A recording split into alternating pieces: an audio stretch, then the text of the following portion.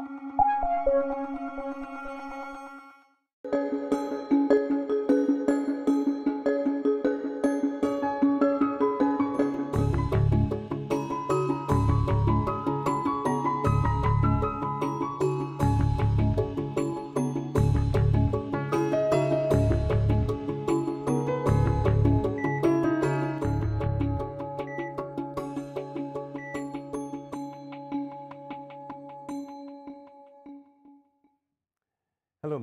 welcome to another edition of Medical Today. I'm Jared Ratnam, and in today's show, something very exciting that we're going to talk about is also something very serious.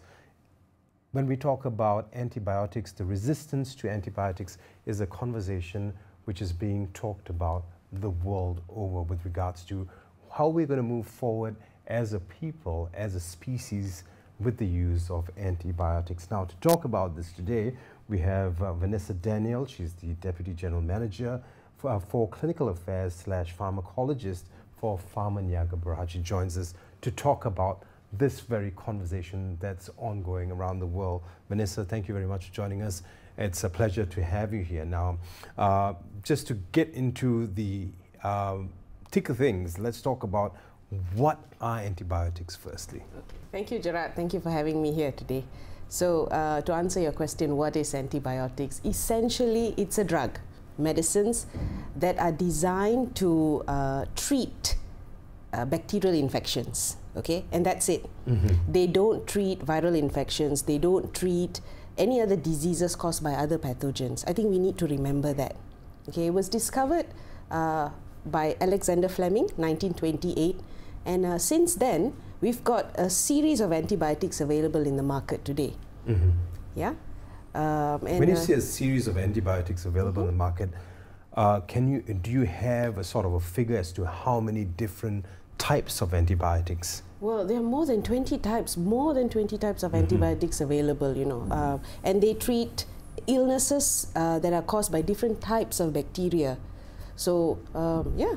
Now, with regards to the use of antibiotics, mm. a lot of us don't know why we need antibiotics. Hence, a lot of us, you know, uh, yeah. go to it all the time. It's yeah. like the the go-to standard if I want to get well quick mm -hmm, for most mm -hmm. of us. Mm-hmm. So why why does one need antibiotics? Maybe you can walk us through that. Okay. Um, let me start by saying that uh, all of us have an immune system. Now, if you're reasonably fit, your immune system is more than capable of taking care of infections. Mm -hmm. Okay, unless these are infections that are very serious or life-threatening. Okay, now when do you need antibiotics? Um, I would pose this question to my doctor. Right. Okay, uh, you need antibiotics when you have an infection in your body caused by bacteria. Two questions you need to let your doctor answer for you. Excuse me. Uh, would be one do I really need antibiotics? And if I do, what kind do I need? Mm -hmm. But let, let the doctor who is well trained answer that question for you if you need it or not. Right. Now, because this conversation, like I said earlier on, is happening around the world, mm. are doctors in Malaysia talking about this, are discussing this with their patients? What do you hear from your side? Okay. Uh, the Ministry of Health Malaysia uh, is very active, is very aware about the need for uh, awareness on antibiotic resistance. They have uh, guidelines and protocols for doctors and practitioners uh, to exercise the right type of uh, practices in order to reduce uh, antibiotic resistance. Uh, this is in line with WHO's call for the whole world to understand that antibiotics resistance is a global problem. Yeah, mm -hmm. so I would say yes, in Malaysia, the doctors are more than well aware of this, and uh, there are steps put in place by Ministry of Health. Right. When you say the steps put in place by the Ministry of Health, let's take this back a little bit and talk about what it is, what the problem really is. We all know, we, we hear of antibiotic resistance, but what is antibiotic mm, resistance? Okay, that's, that's a good question, and mm -hmm. I mm-hmm. think everybody wants to know. Uh, let's not go too detail into the technicalities of it, but Simply put, antibiotic resistance is caused when uh, the antibiotic itself does not work on the bacteria. So if I have an illness caused by bacteria and I take an antibiotic, it doesn't get me better. So basically, uh, that would be the reason why we call it antibiotic resistance. Mm -hmm. Okay. Now, what causes antibiotic resistance? Why does this happen? So, antibiotic resistance uh, is mainly caused when bacteria mutates. Okay. Uh, when it mutates, it, uh, it, becomes stronger. So, what happens is uh, when I take the antibiotic, it doesn't work for me anymore. Okay. Uh, in Malaysia, there, uh, there are st statistics that says antibiotic resistance for certain types of antibiotics uh, can go up to 61%. So that actually means there's 61% chance mm -hmm. that when I take an antibiotic, it wouldn't work for me, mm -hmm. a certain type of antibiotic. Right. Now, if, if, you look at it as to where we are now, mm. apparently we found this out some time ago. -hmm. Uh, how long ago or how far back do we go to know that we already had a problem with this? Wow. Uh, you'll be surprised, uh, Alexander Fleming, mm -hmm. when he discovered antibiotics, he, he won the Nobel Prize for right. this. And in his speech uh, during the Nobel Prize uh, receipt, uh, he had already started talking about antibiotic resistance. So uh, it goes all the way back to, nine, to the 1940s. Mm -hmm. So he knows he knew back then that knew, th yeah. th this was too much of a good thing. Right. Right. now, which brings me to my next question. Your advice, um, you're a, uh, you're a pharmacologist and uh, you're, you're, trained right. to understand these things mm -hmm. differently from us. Now, what would be your advice to uh, the person watching and to consumers who are going out there mm -hmm. and dousing themselves with antibiotics. Uh, yeah. uh, me, me being one of them. okay, I wouldn't douse myself with antibiotics. That's that's really a bad idea. Yeah, okay, yeah. Uh, but I think as as uh, lay people, um, I would I would uh, be able to practice certain steps that uh, that would help uh, prevent or reduce antibiotic resistance. Okay, uh, some of the steps would be number one, always make sure mm -hmm. to mm-hmm. use antibiotics prescribed by your doctor. Okay. Right. Um, I wouldn't go to uh, a doctor and say and sit down and tell him, you know what, I'm sick, I need antibiotics, give it to me. I wouldn't right. do that. Mm -hmm. Okay, um, doctors are trained professionally to identify whether you need them or not. Right. So but this is exactly the thing I did the last time around. So I had a cold, I had a bad cough, and I went to uh, the doctor, who uh, then said, uh, "Well, uh, we can give you something." So mm. I said, "Isn't antibiotics bad for you?" And mm. he says, "If you're taking it twice, three times a year." It isn't a problem. Mm -hmm. What are your thoughts on this? Uh, he's right. -hmm. Okay. Uh, sometimes we need help. So our immune system can't always be on top form. Okay. -hmm. There are times when, when we need help. And um, if you're getting this advice from a good doctor, he knows what he's doing, I would follow his advice. Right. Okay, uh, but I would follow his advice to the T. Meaning, if he told you to take two tablets 3 mm -hmm. times a day, I would take two tablets three times a day. Most of us, by day two, you feel better and you say, mm, I don't want to take it anymore. Now, that's one of the major causes that leads to antibiotic resistance.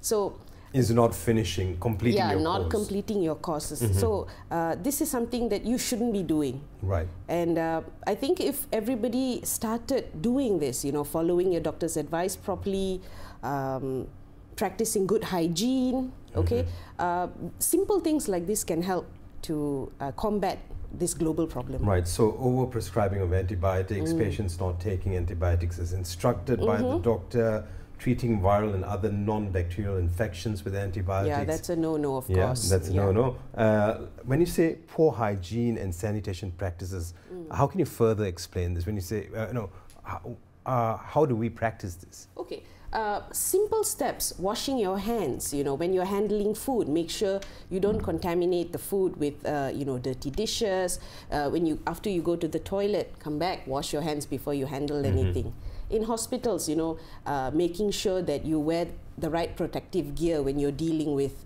uh, conditions that are infectious. Simple things like this will help. Right. And, and when you walk into hospitals, mm. and this is just off the cuff, this is something that came to the mind. Um, you see all these little containers to sanitize your yeah. hands. Are these, do these things help?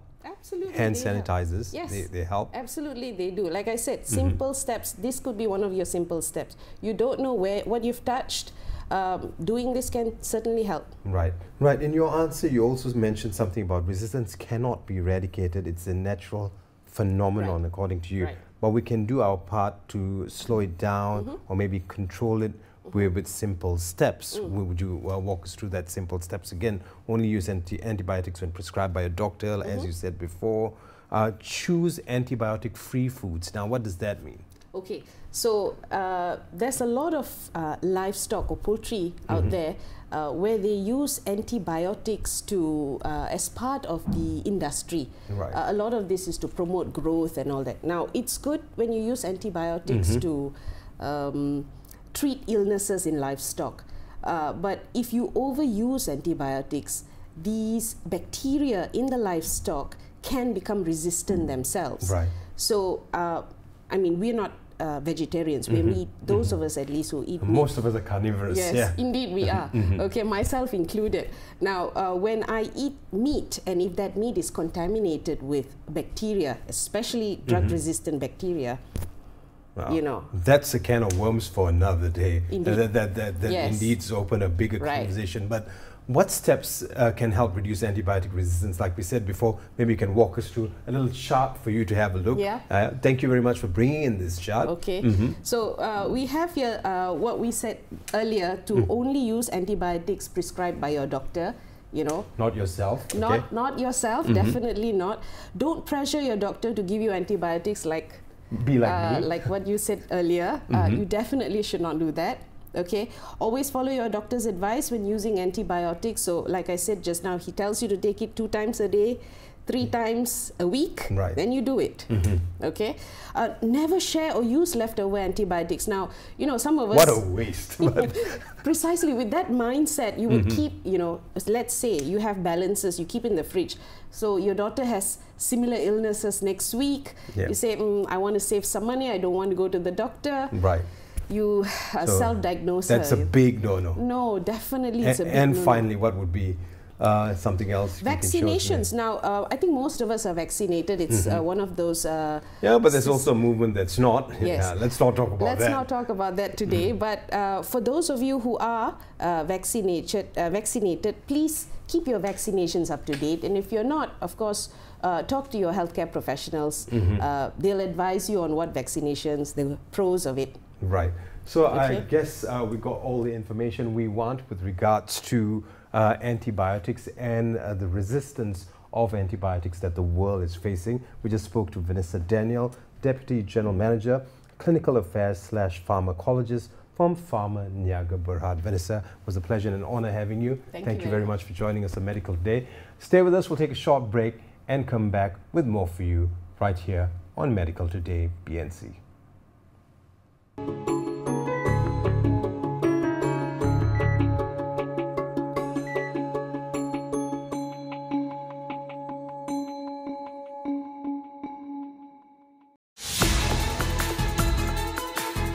Gain insights from the people with the capacity to translate vision into reality. Interviews with corporate leaders at 8.30 p.m. Monday, only on BNC.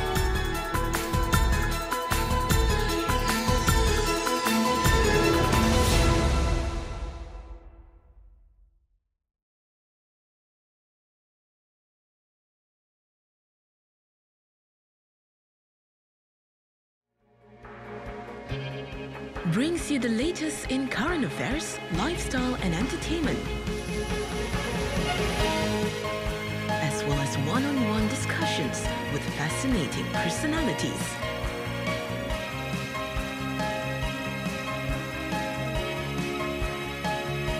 Only on Bernama News Channel.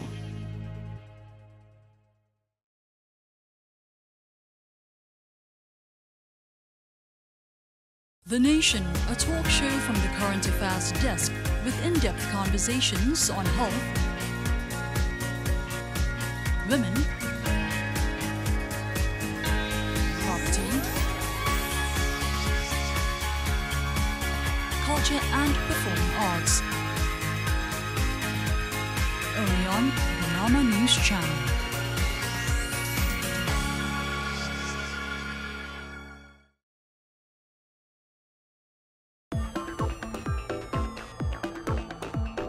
Listen to views of industry captains. Analyze and examine trends and projections. Gain market insights from subject matter experts. Biz Talk every Friday only on BNC.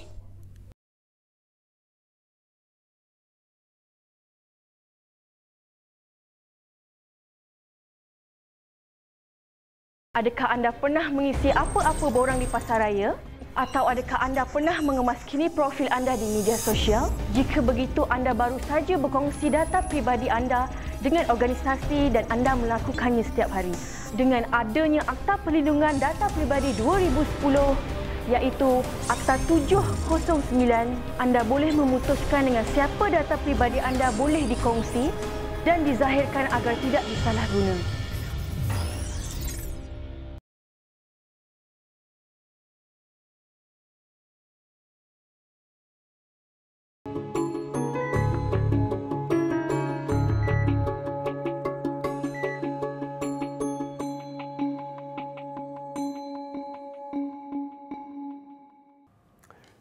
Hello, ladies, and welcome back to Medical Today. I'm Jared Ratnam.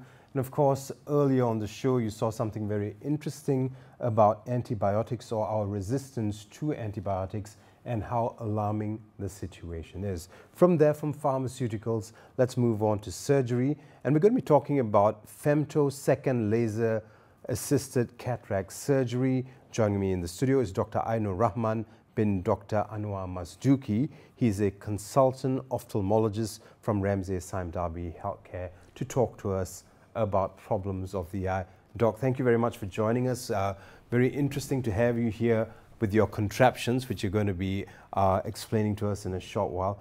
But uh, let's get to the thick of it and just find out what a cataract is. Thanks, Gerard, for having me uh, on board. Uh, a cataract is a natural process and is an aging process whereby the natural lens in the eye uh, starts to become cloudy. And if it becomes so cloudy that it prevents light from entering the eye, the patient literally becomes blind. Yeah? -hmm. cataracts is not a recent problem, has been around since the beginning of time, I suppose, since mankind. And uh, common co problems uh, before you lose your vision totally is, you know, you may have blurring of vision, uh, difficulty reading in dim lights. You are driving at night, you may find that, you know, the light is a bit too bright. You, have, you see uh, uh, glare and halos. Eh? Uh, and uh, sometimes you may even see a bit of double vision. Yeah? Mm -hmm. eventually, if you leave the cataract untreated, and if both eyes are affected, then you, you lose your vision. Yeah? Right. But uh, the blindness that you hear in someone who has cataract is not a permanent blindness. Mm -hmm. It's, it's reversible. It's reversible. Mm that, that's an important fact. Mm -hmm. fact yeah? Now, uh, what, what you just spoke to us about, what you just told us about a cataract, with the eye becoming opaque. Mm. Which part of the eye? Can you mm. show us on this sure. what happens to the eye? Right. Yeah. Now, th this is a model of the eye. -hmm. just to orientate uh, uh, ourselves, right. this is the front part of the eye. -hmm. If you could just turn yeah. it forward. Right. Yeah. Okay. so this is the this is the front part of the eye. This yep. is the back part of the eye. The front part we've got a clear tissue called the cornea, -hmm. and uh, behind here we've got the nerve, which is the wiring to the brain. In between these two structures, we've got the lens. Right. Uh, now, this is the lens of the part of the eye which becomes cataractous. Mm -hmm, yeah? mm -hmm. So, in a young person, it's all clear, but as we age, it undergoes some aging changes. Then becomes opaque. Becomes opaque. So, I'll just show you. So, so it's, yeah. it's this lens that becomes opaque and not Correct. on the outside. No, not, mm -hmm. not the cornea. Yeah? Mm-hmm. So, from a clear lens, to an opaque lens. Yeah? So depending on how opaque the lens is, uh, it will affect the patient differently in terms of you know how clear or blur the image is. Right. Um, well, when you talk about cataracts treatments, you say it's been around for the longest time mm. and there's, there's been treatment from time in remembrance. Mm. Is there a treatment for cataracts, uh, cataracts today and what, mm. what are the treatment procedures like as compared to what it was right. before? No. Uh, as you mentioned, cataract has been around since the beginning of mankind. -hmm. Yeah? Mm-hmm. And it's a problem right from the beginning. So even as early as 5th century BC, there has been records that uh, procedures to remove cataract to restore vision uh, was already done. Uh, and the, the, procedure is not obviously called laser cataract surgery, mm -hmm. it's called couching. Yeah? In couching, the principle is you have an opaque lens right. in the eye, it's blocking the vision. couching, what, what happens is either through a hard knock to the mm -hmm. eye, the lens is dislocated into the back of the eye or the vitreous. Right. We don't do that anymore. We don't do that anymore. But, uh, yeah. but I can, uh, uh, that's actually not exactly right. Mm -hmm. in some parts of some countries whereby they don't have uh, access to modern uh, facilities. Couching is still being used. Couching is still being done. Mm -hmm. Yeah, uh, even I, I, I've seen a video done of a documentary in 1995, even right. as uh, uh, early as 1995, mm -hmm. it was still being done. You know. Right. Now, the the problem with couching is uh, nobody wants to get knocked in the eye. Mm -hmm. uh, it's not. It's, it's, a very, it's not a nice feeling. It's not a nice feeling, yeah. you know. Uh, and nobody wants uh, needles to be poked into the eye. And uh, the problem is uh, when you knock the lens into the back of the eye, sometimes the lens causes inflammation, mm -hmm. and inflammation can damage the eye. You can actually cause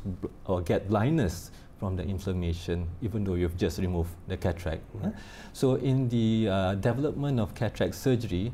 Uh, the progress progress in uh, cataract surgery is to improve upon this technique to mm -hmm. make it more humane. Yeah. Uh, the next step was uh, something called ICCE. ICCE stands for intracapsular cataract extraction. Intracapsular cataract extraction. extraction. Yeah. In that process, the principle is instead of knocking the lens back into the eye, mm -hmm. you want to take the cataractous lens out of the eye. Right. Yeah? Now, like anything that you want to take out of a structure, you've got to create an opening. An yeah? incision of some sort. That's right. Mm -hmm. So the incision is made on the cornea. Right. It's a fairly large incision, almost 180 degrees across. It has to be as large as the lens.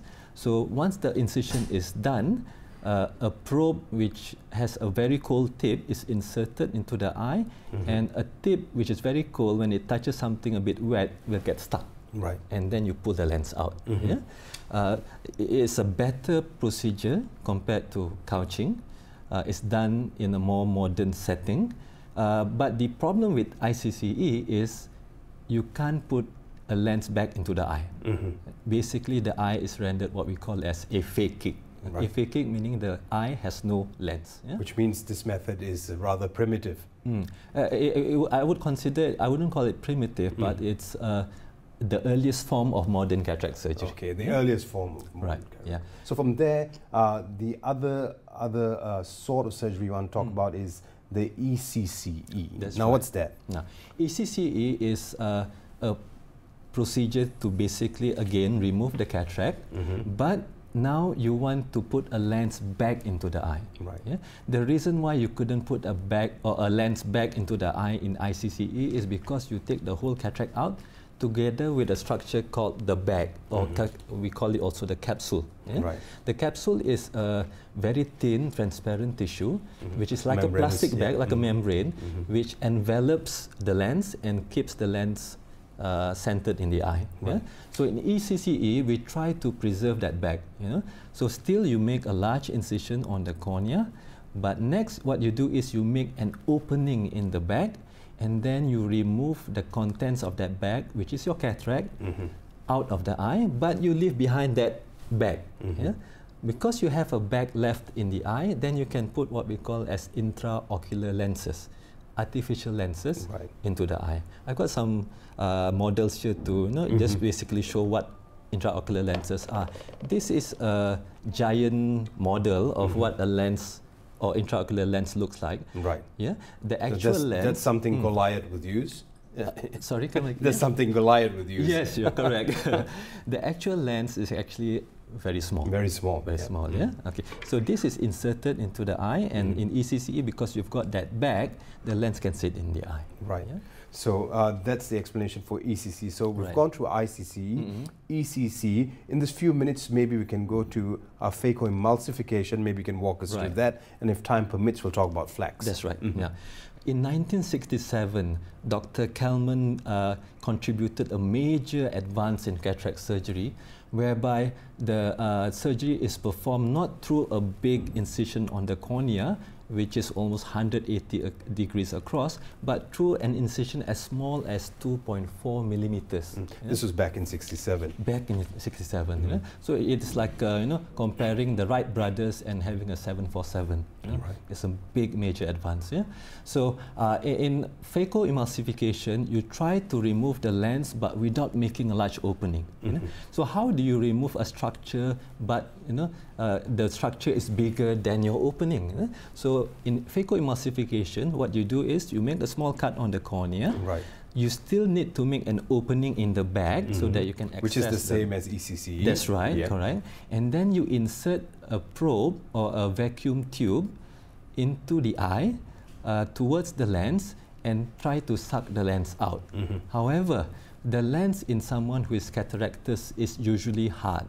Therefore, if you were just if you were to just use vacuum or suction to suck it out, nothing will come out. Imagine you have a glass of water and some ice at the bottom, and you want to suck the uh, uh, ice out. Mm -hmm. You can't. You've got to mash the ice before you can suck the uh, the ice through the straw. Right. So that's the same principle. So in phacoemulsification, phaco means lens. Mm -hmm. lens uh, uh, phaco means lens. That's yeah. right. Phaco mm. means lens. To emulsify the lens. That's right. Mm -hmm. So at the end of this vacuum tip, what Dr. Kelman did is he put an ultrasound tip. So it's a metal tip which vibrates at an ultrasonic level, mm -hmm. uh, frequency, to emulsify the lens. Then you can suck the solid lens out. Mm -hmm. Yeah.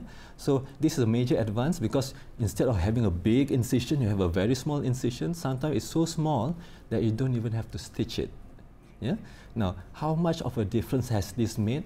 Imagine if you do, did, uh, let's say, an ECCE, mm-hmm. you'll get your best vision perhaps after three months. Right. If you do a good phaco, you'll get that vision tomorrow. Tomorrow. Yeah. Okay. Uh, Which leaves us with one other option. What we're going to do is we're going to take a short break. When we come back, Dr. Ainur is going to walk us through FLACS, F L A C S. It is a surgery how is it done? We'll come back and give you some information as to how that's done right here on Medical Today. Stay with us.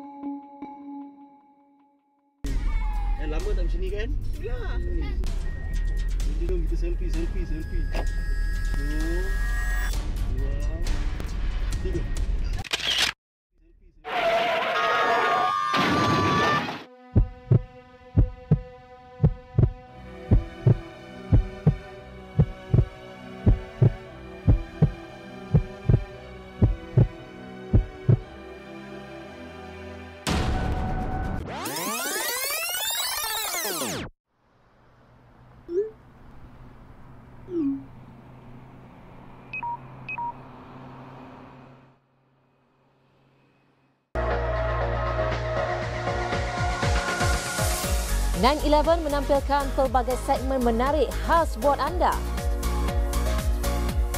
Saksikan 911 setiap Isnin hingga Jumaat 9 pagi. Hanya di Bernama News Channel.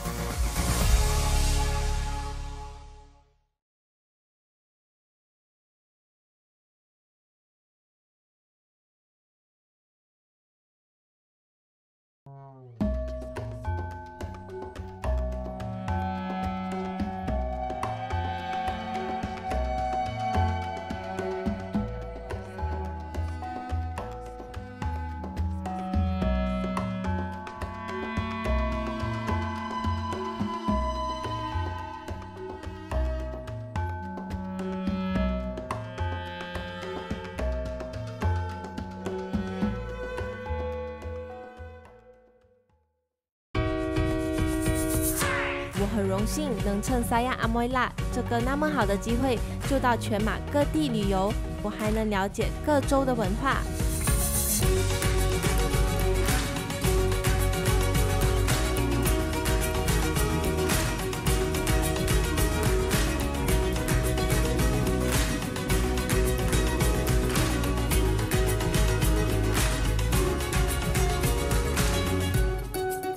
我们一起来开始我们的旅程吧。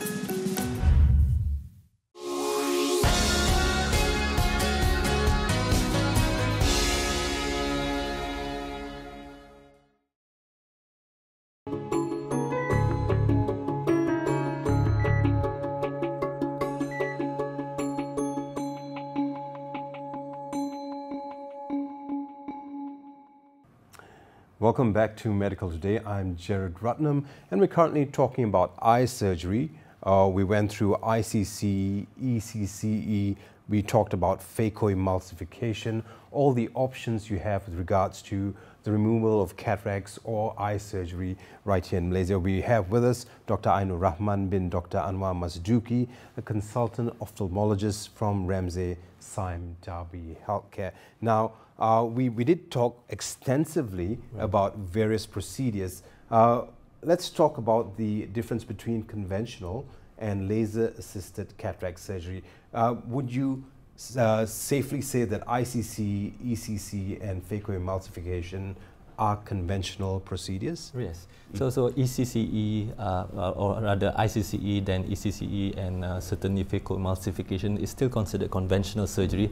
It is still actually being done because certain eye conditions warrant the use of perhaps ICCE or even still ECCE. Yeah?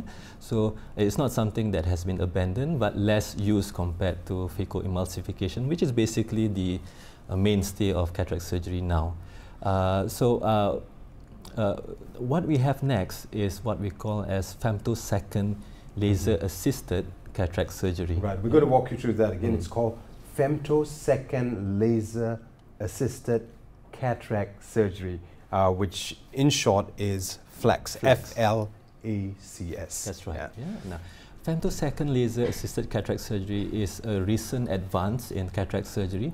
Uh, as the name suggests, uh, it's uh, something that assists in the cataract surgery. Mm -hmm. So uh, what it does is, uh, is basically a machine that helps the surgeon to do almost the first half of the surgery by the laser. Yeah? Uh, I'll just uh, roughly mention which parts of the procedure is done by the laser. If you remember when I mentioned ECCE, ICCE and phacoemulsification, there is still some basic principles that we must adhere to mm -hmm. when we do cataract surgery. We must have a wound. Yeah? We must have an opening in the back. Yeah? We must be able to suck the lens out or take the lens out and lastly put the lens in. What FLACS does is it does the first half of the surgery, namely the creation of the wound. Instead of using a diamond knife or a metal blade to create the wound on the cornea, we use a laser to create the wound. What is the difference? Mm. The difference is uh, you can tailor uh, the, the size of the wound, the length of the wound, and the depth of the wound, and even the geometry of the wound using a laser, perhaps a bit more accurately compared to using a diamond blade or a diamond knife. However, I must add here that uh, in terms of advantages of the laser against the conventional way, the advantage is not that much, except in terms of slight more, slightly more precision in terms of the creation of the wound. Mm -hmm. Yeah? Right. Now, uh, the next step would be, or the next thing that FLACS helps the surgeon is the creation of the opening in the bag that right. holds your lens. Mm -hmm. no? Traditionally, if you do phacoemulsification or ECCE, you have to, through your uh, corneal wound, you insert a metal forceps to grasp onto the capsule. The capsule is very thin. At the thinnest point, it's only one micron. Mm -hmm. yeah? One micron is about your hair divided by 70. Right. Yeah? Now you're mm. inserting a metal forceps, right. And uh, common sense would tell you that it may be injurious mm. sometimes. Right. Well, well, well, we are trained, I suppose, uh, as eye surgeons uh, to, to operate in a very tight space. Mm -hmm. So ideally, we shouldn't be touching any other parts of the eye. But uh, I think the advantage of the FLACS in this uh, setting is that uh, you see, if you do it manually, I've got to use that metal forceps to grasp the capsule, then make literally a, a tear open a round opening mm -hmm. of the mm-hmm. capsule. Yeah? Even in the best of hands, uh, it's quite impossible to actually for me to get a perfectly sized uh, capsulorhexis, that's what we call it. Uh, and maybe the shape of the circle or opening may not be a perfectly round circle. But if you use a machine to create a perfectly round circle, I think the machine will beat any expert anytime. Right. Yeah? Yeah? Uh, the other advantage of FLACS in terms of this opening is you can actually determine the exact sizing. Yeah? Uh, th this can be very useful if you use certain type of lenses. Yeah? Now, uh, because sometimes you want to aim for an opening of let's say 5.5 millimeter. Mm -hmm. Yeah? You can do it manually, but sometimes you know, being man, you know, right. sometimes you go out a little bit, it gets a bit larger or a bit smaller. Yeah. Mm -hmm. Yeah. The third method, uh, the third advantage of FLACS is uh, it can also pre-divide and pre-soften the lens even before you introduce your phacoemulsification. It pre-divides and pre-softens. Let's That's talk right. about mm. uh, very quickly. Wow, how does it pre-divide? Right. So the laser, just like how it created the wound on the cornea, opening on the capsule, the laser will also cut the lens into smaller pieces. Yeah? Some systems are able to cut it into some waffle-like pieces so that when you introduce your suction device or your phacoemulsification device, you can literally just suck the lens out without having to use too much energy. Mm -hmm. Now, what, what do I mean by energy? If you remember my earlier uh, introduction about Kelman's uh, uh, invention, mm -hmm. phacoemulsification, the tip uses ultrasound to soften the lens before you can suck it out because right. the lens is hard. Mm -hmm. Now the problem with ultrasound is if the lens is very hard and if the surgeon uses excessive ultrasound, too much energy will can injure can injure the, the eye. Right. The cornea you can get burns, you can damage the inner lining of your cornea, we call it the endothelium. If the endothelium is too severely damaged, you may have done a perfect cataract surgery, but the next day the patient will not be able to see because right. the cornea will become all swollen. Yeah? Then you need something like a corneal transplant. Yeah? So ultrasound is needed, but you need to regulate its use. Yeah? Mm -hmm. So I, I, believe in FLACS, it allows the surgeon to use less ultrasound and in some cases actually not to use ultrasound at all. Mm -hmm. Yeah? Because I, I, think in modern cataract surgery, it's the ultrasound that sometimes can damage right. the eye. Hmm? In short, uh, what we know now is that with, with machines or with the help of lasers uh, or laser-assisted uh, cataract surgeries, uh, we get precision, and precision is what is most needed in, uh, of course, cataract surgeries, right? Yeah. Having said that, there is actually a lively debate going on mm -hmm. still on whether FLACS or femtosecond laser assisted cataract surgery is is it better than conventional surgery right. my answer to that is yes and no you know mm-hmm. uh, I, I, I will not say that femtosecond laser cataract surgery is safer or better than conventional surgery you you still rely on the skills of the surgeon mm-hmm. i would look at femtosecond laser cataract surgery as a new tool for the mm-hmm. surgeon to use you know if the tool is used wisely or expertly, you get good results. Right. If you don't use it well, even with femtosecond laser cataract surgery, you can have complications. Mm -hmm. uh, some of the complications unique to femtosecond second laser cataract surgery is, for example, the opening in the back. Right. Sometimes, uh, if you are not careful, can actually tear mm-hmm. yeah, because sometimes you have small little tags created by the laser yeah? mm-hmm. but the newer laser systems are so, getting better so I, I mm. guess I guess the argument here now is if we depend too much on machines then where's the uh, skill of the surgeon that's itself right, I, I right. guess that's the Correct. the idea of this whole uh, narrative with regards to the argument right. uh, with surgery but very quickly uh, we've mm. got about two minutes left very sure. quickly we hear a lot of myths uh, I mean most of us who have parents or grandparents with cataracts mm. always hear stories of uh, botched surgeries, mm -hmm. uh, alternative treatment. Right. Uh, what kind of advice mm. or, or, tip can you give us right. with regards to this? Because a lot of people fear it, or I don't want to take my mother mm. for a surgery, mm. it may come back. Right. You know, yeah. you, you, you, get, you get sure. these kinds of excuses all sure. the time. Right. So what would be your tip mm. for us? Right. Now, uh, as in any surgery, there, there is always a risk for complication. Yeah, right. So when you have complication, that's when you listen to all these stories where things did not go so well. Yeah, but I, I like also to highlight about you know this common myth whereby you know you hear people saying of some uh, doctors actually even saying this that oh if you have cataracts you need to have surgery because if you don't do it you'll go blind that's not right. That's all right. That's right. Cataract mm. should be seen as a natural aging process. There are different stages of cataract early ones, the most advanced ones. Uh, but cataract will not cause permanent blindness. Even if you have the most severest form of cataract and you can't even see any form of light, if the eye is healthy, once you have the cataract done, you can see again. So, so I, I, I don't like uh, this idea that, you know patients sometimes comes to see me you know after seeing someone else saying or oh, that uh, someone told me that you know if you don't you have cataracts you don't remove it now you'll go blind mm -hmm. that's a myth you know right. you do not go blind you know, even if you can't see you can see again once you have the cataract surgery mm -hmm. you know? mm -hmm. now uh, when should you have cataract surgery well uh, you, sh you should only have cataract surgery when the cataract is causing you problems right. now, my father is already 74 he's, he's got cataracts but I haven't asked him to have a cataract surgery, not because I'm not afraid that he will go blind, it's because he's seeing well. Mm-hmm. He's got no problems. Yeah? Now, uh, of course, uh, uh, coming back to complications of cataract surgery, yeah, complications do happen. Yeah? So things like infection, sometimes the bag that holds the lens ruptures and the lens falls to the back. Some people get the retinal detachment, but these are more of a rarity rather than the norm. Mm-hmm. Yeah? Modern cataract surgery is safe, the incision is small, the risk in, uh, of infection is very low. It's about 0.01% in a well uh, established setting. Mm-hmm. Yeah? So the infection is very minimal.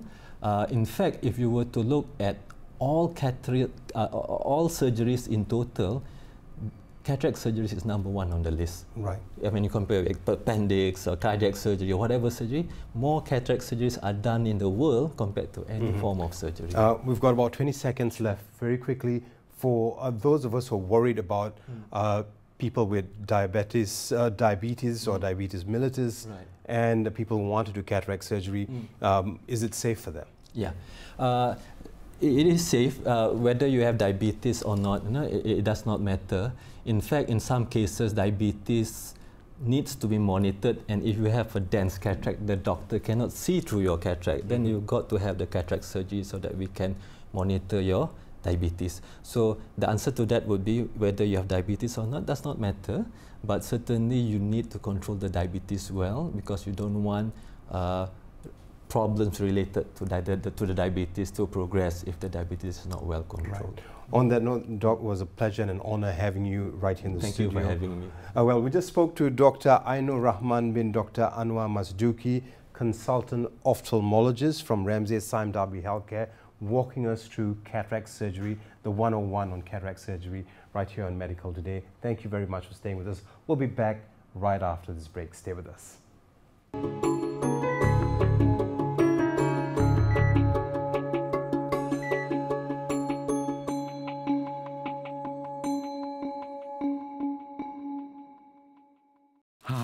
Tuan-tuan, hujung minggu macam ni, saya dan keluarga mesti membersihkan halaman rumah.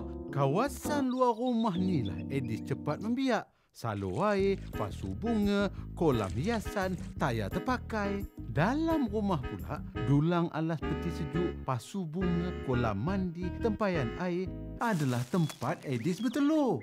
Sebab tu, jangan lupa masukkan racun pembunuh jentik-jentik. Selamat! Bila rumah kita bersih, tak ada can lah Edis nak membiak. Tak ada Edis, tak ada denggi. Bersama mencegah Edis. Mengupas isu semasa. Merangkumi politik, ekonomi, sukan serta hiburan. Membawakan anda agenda pentas dunia. Saksikan Ruang Bicara setiap Isnin hingga Jumaat BNC.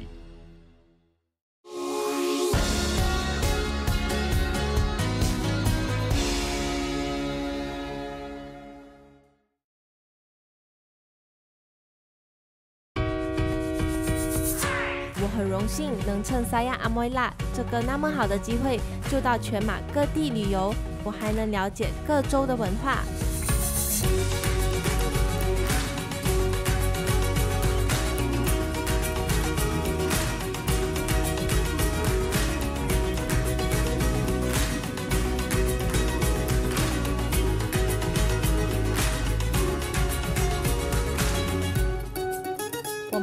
开始我们的旅程吧。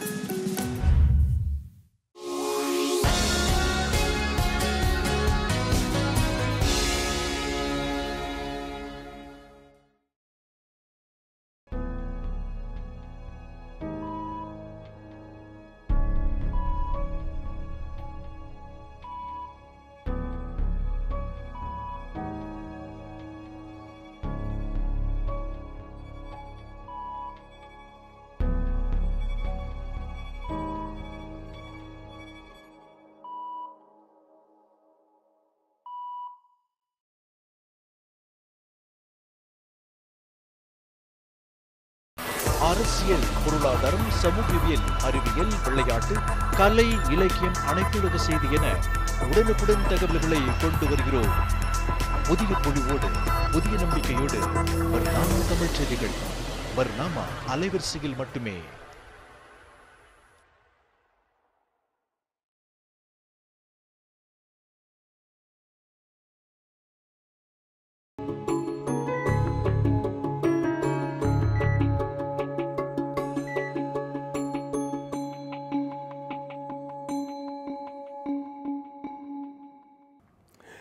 Welcome back to Medical Today. Jared Ratnam with you. We just spoke to uh, Dr. Ainur with regards to eye surgeries.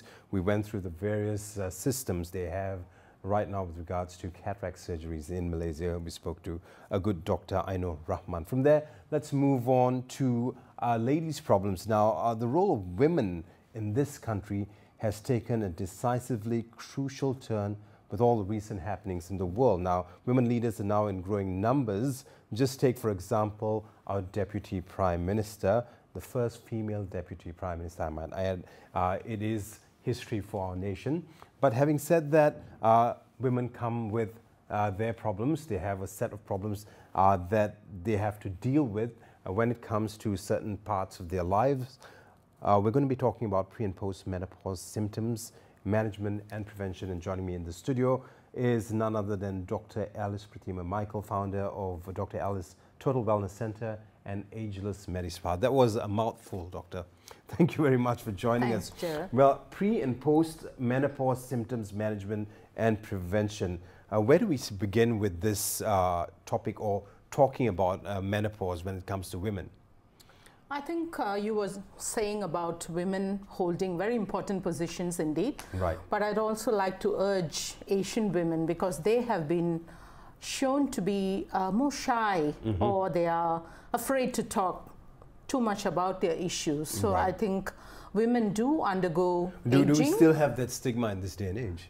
Yes, they do. Yeah, Mhm. they still do. Compared, there's been studies done that compares Western women as opposed to Asian women, and Asian women do not voice their symptoms out as well. They can be very ominous indeed, but Mhm. they will not voice it just because they think they will put too much of pressure on their spouses or their children or they just don't want they think they are making a big fuss so they would not want to do so i would urge women to be as successful as some of our leaders but at the same time look after their health as well Right. so all women undergo aging and together comes menopause But the, the other thing here is with your clientele, you're meeting middle class, upper middle class women. Some, some of them come from uh, really affluent uh, societies.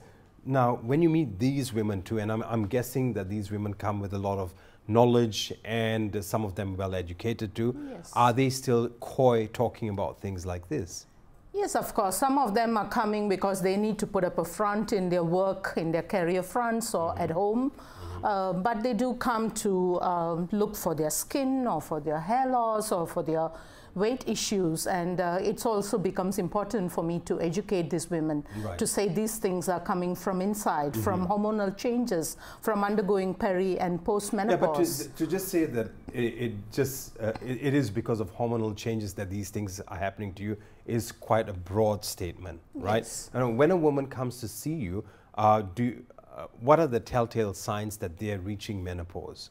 Yeah, everybody talks about hot flashes and Mhm. uh, sweating and I'm having so hot. Yeah, palpitations. yeah, yeah. And of, of course, you know, having mood swings. You know, at that time, the husband would tell the wife, you know, uh, don't have irritability, you're undergoing menopause, you know. But a lot of women there are well in control of these symptoms. They know how to manage them. But then they have other symptoms like increasing amount of fatigue. Mhm. Loss of libido for once is a very common issue. A lot Increasing of women amount can, of fatigue can, can be an allusion to uh, adrenal fatigue fatigue syndrome. Yeah, it all comes together with Mhm. menopause for women. Women somehow with having estrogen in their body, they they carry on quite well. They are able to take all the pressures that go through adolescence, 20s, 30s, 40s, and towards 45 onwards, many of them are starting to have even early menopause these days, Right. and they start to have irregular menstruation.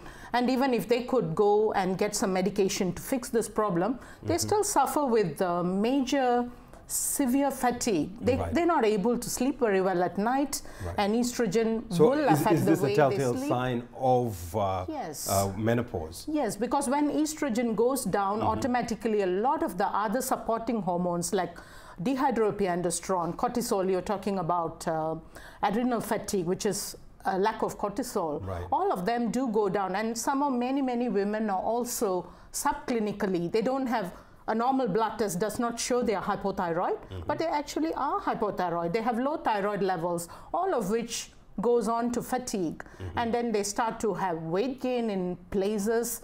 Of course, other than that, they do have those in the early times of perimenopause and early menopause, the body is kind of trying to push out the mm-hmm. estrogen. And there are times when they have a nice, you know, energy level and suddenly it crashes down when the ovary cannot keep up with the production of estrogen. And then they go into the severe stress where and uh, fatigue where they are not able to take their normal work So activities. if you're watching this saying, I know this all too well, I think the next question is, what do I do? Now that I know that I'm overly fatigued and you know everything's going haywire, mood swings, so on and so forth, what can I do? You always you're a great proponent of talking about inflammation within the body or inflammation markers. Yes, Uh, What's your advice with regards to this? Very simply, for those of us who don't understand inflammation markers, uh, how can you simplify it for us? First of all, this is the time when the biomarkers of different forms of aging starts to come in. So of course, I believe knowledge is key, and so women have to be proactive and go get themselves properly tested. Mhm. So when they test it, of course, it's not just a normal hormone test alone. We are looking at all the inflammatory markers because having lack of estrogen not just stops your menstruation, but it also increases inflammation. Inflammation is like a fire, slow burning fire that's eating up all our energy reserves, our hormonal reserves, all our health reserves in another way. Yeah, but, but when you talk to uh, people within the health industry, there's, there's now an alternative industry that talks about um, eating healthy, about having anti-inflammatory uh, vitamins and also nutrition, which is, which is taken in by... It's all proven, Gerard. Mhm. So if people deny this fact, then they are living in a shell Right. from which they will have to be pulled out someday or other. That's Mhm. all I have to say about that. But we look at inflammatory markers. There is a theory of inflammaging. That means inflammation causing aging. All our diseases, non-communicable diseases. confuse us a little more, inflammation to inflammaging. Yeah, Right. inflammation as a major cause of Life aging. doesn't get any better.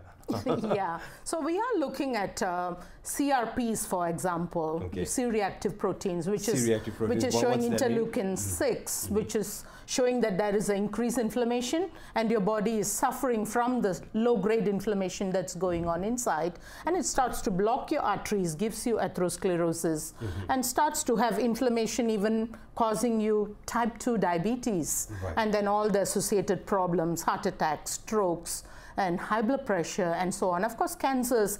Most of the cancers, other than genetically, uh, you know, got cancers, they are inflammation So your work as a wellness physician is to nip it in the butt. Yes, it's always before- looking for early biomarkers, Mhm. uh, listening to people very, very carefully because sometimes they may just come and say, I'm dropping hair and I can't go to work anymore. Everyone notices, notices this. I had nice hair before. Right. So it's not just listening to them, asking them some pointed questions and bringing out what are the other things. Many women are nowadays, they are afraid to talk about libido matters Right. but they do have they have painful sexual intercourse they mm-hmm. have lack of libido which is causing them extra stress but it also says that their hormones low many women are coming to me and saying oh i have very wrinkly skin now and i'm starting to have pigmentation and i'm having age spots and so on mm-hmm, and i'm mm-hmm. having sagging again but then we know when the skin is undergoing all these changes the same changes are also happening in the vagina. It's happening in the urinary tract, it's happening in the urethra and the bladder. Mm-hmm. So, causing the women. So, if I ask a pointed question, so do you also have some difficulty? Uh, do you have to wake up often to go to the toilet at night, or do you have stress incontinence when you sneeze or laugh suddenly? Are you dribbling? Yeah, they another may thing. Come out with it and don't say talk it. about stress They don't. They Mhm. don't. Mhm. So it's for a physician like me to ask them those questions, bring it out, run the necessary tests, Right. and then to uh, come to a conclusion, educate them because they are not aware of it many times, Right. and then educate them and go on from there. See, whatever you're talking about, and we've got about three minutes left, and maybe you can walk us through this. Uh, For me, it's, it just points to one direction psychological problems. You know, women, when they come up with all, all these, ex- not excuses, when they have all these symptoms, it then, you know, plays in their heads, it affects them psychologically. How do you deal with that as a wellness physician? Of course, many of them come to me in tears as well. Mm-hmm. They have panic attacks or anxiety, and sometimes it's physical symptoms that has caused them that much of distress. Right. And sometimes we do know that all these symptoms are also linked to lack of estrogen. Mm-hmm. If they are predisposed to having depression or they are undergoing very difficult situations at work or in the family or elsewhere, they may also come out with depression symptoms as well. Right. So So, it is not just always. Uh, it is not a psychosomatic problem as Mhm, well. It is mhm. also a physical problem. So when we test these women for hormones, we would find low levels of estrogen, high or very low levels of cortisol. We'll find that they do not have DHEA, which is a strong hormone. It makes the woman's body, the muscle, the bone, and also the mind strong. Right. So when we are able to introduce, of course, other than counseling and other methods of psychotherapy, mm-hmm. there is ways that these women can improve themselves and they do not have to be. They can be very, very productive if we treat them right at this mm-hmm. time. Before we pull the handbrakes on this show or this, this week's episode, what are the options available to the modern day woman who wants to face menopause head on? Oh, there's so many things available. If you think I'm not, I'm not, I'm going to age naturally. I'm not going to treat myself. I'm not going to see Dr. Alice or anyone else to treat myself for this. Then of course, take it easy. You know, smell the roses. Make sure you have a long hot hot It's bath before you sleep. done. Mm. Do deep breathing. It helps a lot. It calms down all our nerves, the neurotransmitters. Eat very healthy. Eat in small, healthful bites, Mhm. and do not go because many women have pica. They like to eat salt and sugary stuff, which will cause women to Instead gain weight, and no woman who's overweight is happy. Okay, so then eat sensibly and do exercise daily. Maybe it's not the time to do very hard, you know, exercise, but you will benefit because osteoporosis is a major problem that Mhm. happens together with menopause. So we can actually reduce it. But of course, if you say, I'm going to proactively treat this, then you go to a doctor you can trust and who knows about how can pr- how you can prevent the problems that happen with menopause. Do not wait for diabetes, cancer, blood pressure to come on. Before that, we, we can do biomarkers. We can Right. find what are the problems and we can give you treatments. We are now doing a lot of work with bioidentical hormones. We have ministry accredited labs which produce for us doctors with prescriptions the correct kind of hormones that you can apply or you can take orally or Mhm. you can opt towards the traditional hormone replacement treatment as well. Right. On that note, before we say goodbye to Dr. Alice and of course bring her back on another day, if you have any doubts about medical illnesses, do not fret, my friend. All you have to do is send us an email and uh, whatever your problem is, your medical condition is, send it to us. And we're uh, also going to do one better. We'll send you a bottle of multivitamins. And that's uh, uh, also thank you for those of you who have sent in emails previously. Uh, I think we've received almost 56 inquiries, so 56 bottles are going to be coming your way. Just watch out for that mailman who will be coming your way very, very soon. So, an example of one of our emails is a 50 year old male. He talks about weight loss for the past three years. He's 176 centimeters and he's 54 kilograms. All medical results are good. He does exercise regularly. He's seen a gastro, done a colonoscopy to uh, what can be the cause of weight loss. Well, uh, of course, according to the doctors or health specialists who have seen this, they say uh, the information provided is insufficient for us to advise on the condition. Your weight loss could be due to many underlying conditions and it could be due to some lifestyle changes. So therefore, the advice is for you to go see a consultant uh, consult or consult a general physician and uh, get another, of course, thorough examination done and of course uh, also get another opinion.